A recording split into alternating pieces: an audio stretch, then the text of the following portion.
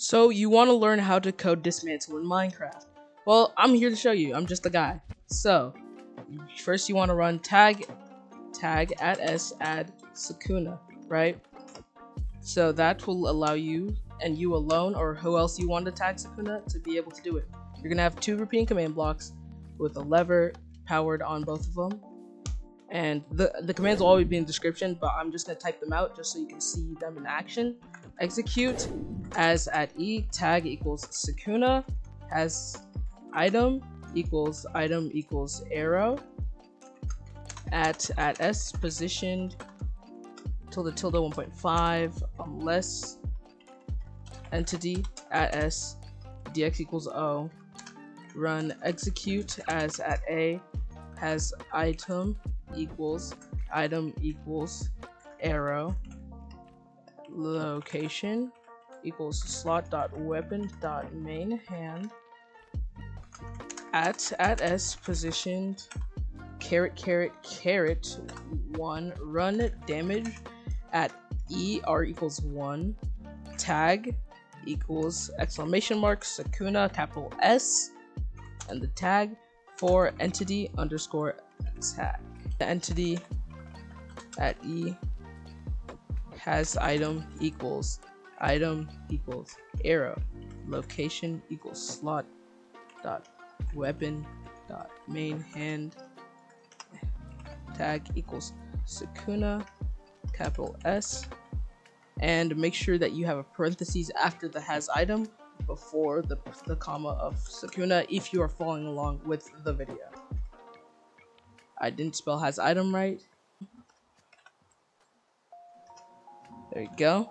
And that should make sure that there are no syntax errors so I did kind of brush through this, so I'll be showing you the fix up, troubleshooting in your own commands. When you see execute subcommand unless entity at test failed, means that usually there's nothing wrong with it. So if there's nothing wrong with it, you'll see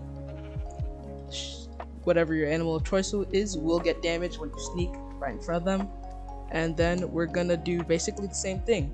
So at the start, you can see execute at as at E until blah blah blah until you know run with the position that detects for sneaking and we're gonna be detecting for sneaking again here so execute at e as at e tag equals sukuna capital s has item equals item equals arrow.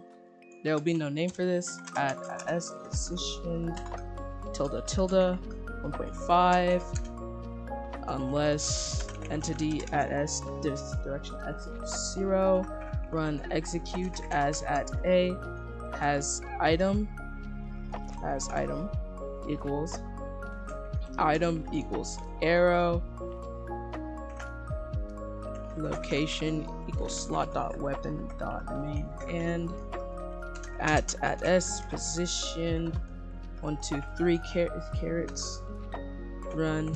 Execute at at sure it's not capital r equals one tag equals exclamation mark sukuna so that doesn't run the particles on you.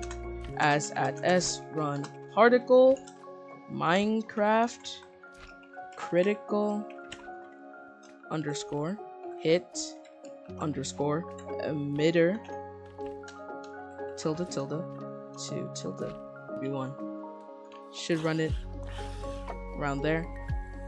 And so I hope that you have the copy and paste it for this part because it can be a little grueling. So if right now you see it only has one block range, so per command block we're adding range. So let's say I want to make it a five block range, right? One, two, three, four, five, and one, two, three, four, five, right? One, two, three, four, five. And so you're gonna set them all to repeating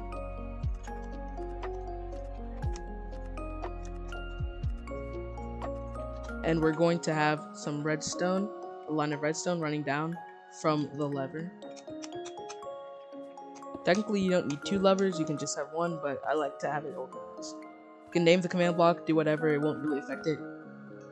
And then we just copy and paste. So, we have, we copy and paste what we have from here, and we just change one value, the one value that's right here after the carets, to two blocks away to three blocks away to four blocks away to five blocks away. Right? So we have a five block difference here. And we're going to copy and paste what we have right here as well. And we're going to take that to two blocks, three blocks, four blocks, and five blocks. So there we have it. We will have a functioning five block long dismantle that will run particles at the entity that you are attacking. And thank you guys for watching. I'll see you guys in the next video.